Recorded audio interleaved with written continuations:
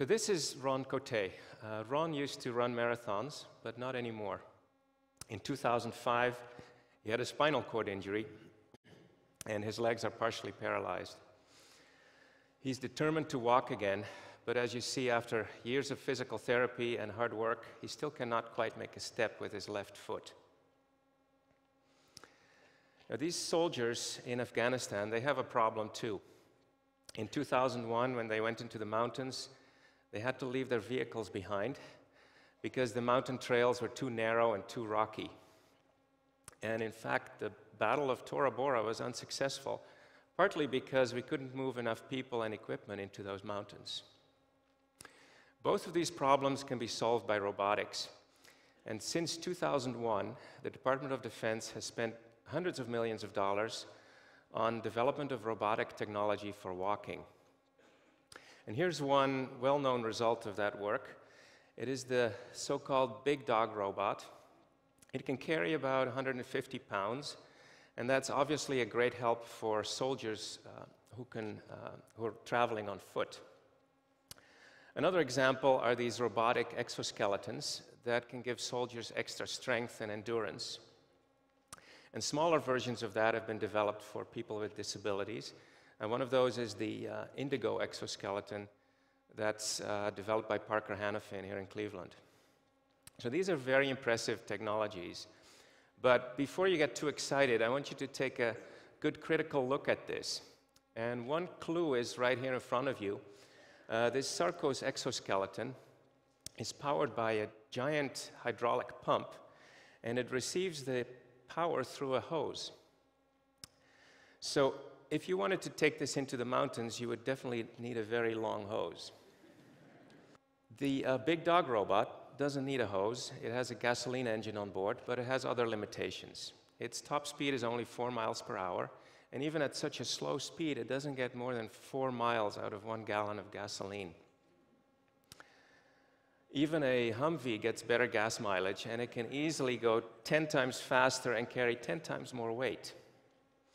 If this big dog robot has to go on a 100 mile trip, it has to carry 25 gallons of gasoline. That's just about all it can carry, so that's obviously not very practical yet. And this may surprise you, but there is a far better technology that already exists, and it has existed for hundreds of years. And here is that technology it's horses. Horses are perfect for narrow trails and uneven ground. They also have impressive technical specifications. Um, they can carry about the same load as a robot, but they run a lot faster. And if you look at the food that they consume and you convert it into the equivalent amount of gasoline, it turns out their fuel economy is about 100 miles per gallon or even better. So think about it. Here we have an animal that can travel six times faster than the best robot we have, and it uses only 1 25th of the energy. And it gets even better because horses don't actually have to carry their fuel. They can just eat plants that grow by the side of the road. So I know what you're thinking now. Why didn't they use horses in Afghanistan? And of course they should have. Uh, that wouldn't have taken 10 years or $100 million to, to get going. Um, and if that solves the problem, why should we even do research on robotics, right? Well, my answer is I truly believe that robots are going to be better in the long run, but we need to get a lot smarter about how we design them. And as a starting point, I suggest we take a good look at horses and why they work so well.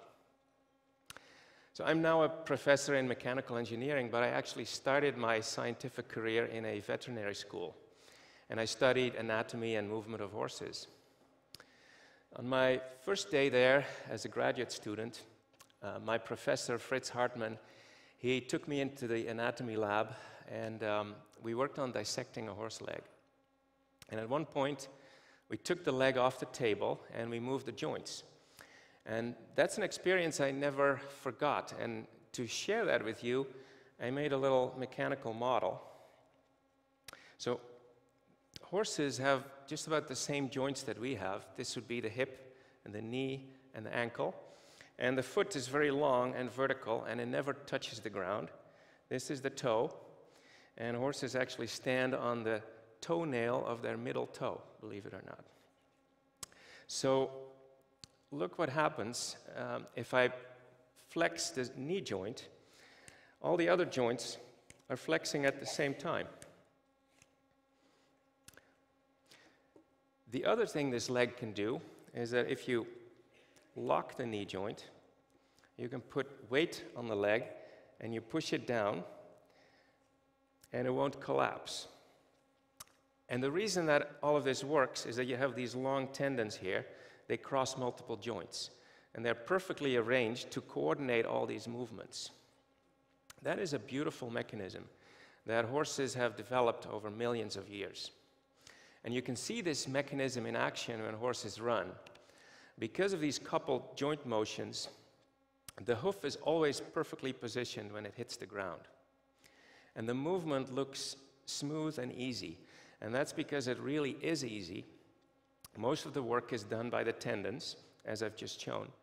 And the muscles don't need to do much. And that's really the secret why horses get 100 miles per gallon and why they never stumble, even when they're tired. My work now is in human motion, not in horses, but this knowledge is, has still been very useful to me. Um, about 10 years ago, I was preparing a lecture on muscle mechanics, and I was trying to explain to the students why our muscles and tendons are attached to our bones exactly the way they are. And I remembered how beautifully that design was in the legs of horses. And I asked the question to myself what if you could attach tendons anywhere you wanted on a human leg? Could you make walking easier? Of course, we can't redesign human legs, but we can attach extra tendons on the outside. But where? That's a mechanical design problem, and I solve it the way mechanical engineers do, uh, making a computer model and running thousands and thousands of simulations with all these combinations of attachment points, and each time calculating how much that would help uh, the walking movement. And one solution that came out is this one. And it looks a little bit like a horse leg. So you can attach an elastic cable to the front of your waist, run it all the way down your leg, and attach it to your heel. And it has to go around these pulleys that have to have a specific size. And based on my calculations, this could do about half of the work that's required for walking. So if you would wear this outside your body, uh, walking would get 50% easier. And this is now commercially available, and it's known as the Kickstart walking system. And Ron was one of the first users. And with that device, uh, he can now make steps with both of his legs, and his walking speed is quite good.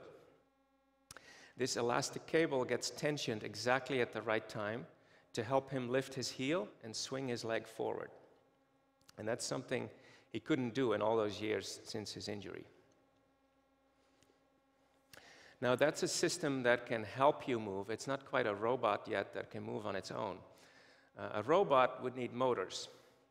And based on what I told you earlier, you might think that that would then automatically become something very clumsy and inefficient. But there's some good news. If you use electric motors, you can do some of the same things that tendons do in the leg of a horse. And here's a little demonstration that you can actually do at home if you have a couple of Lego motors lying around. So there are two motors, and there's no battery here. They're only connected by this uh, electric cable. If I, use one, if I move one motor, it will produce an electric current that goes through the other motor and will make the other motor move in exactly the same way. Look at this. So there's no mechanical coupling, there's only an electrical coupling. This is precisely what happened in the leg of the horse when I moved the knee and the other joints started moving. So these uh, ideas are a very important part of some research that we're currently doing uh, in the Washkewicz College of Engineering. And I'm working on that with two colleagues, Dan Simon and Hans Richter.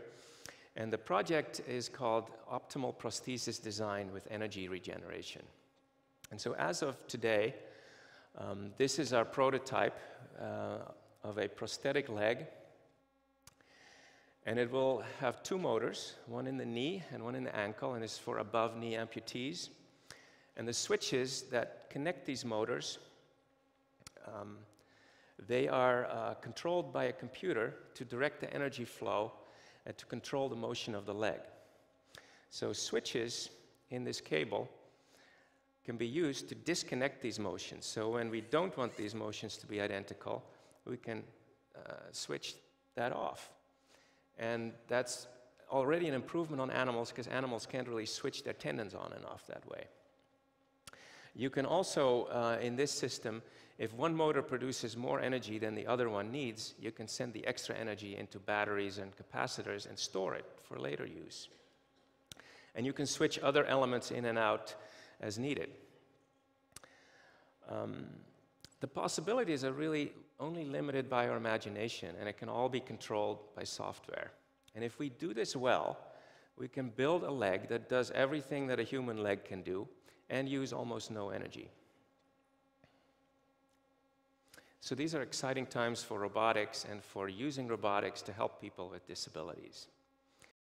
Robots are still very far behind animals, but now that we can understand the principles of animal design, we can start to catch up. And we can even improve on nature by using those same principles in new ways that nature never imagined. Thank you.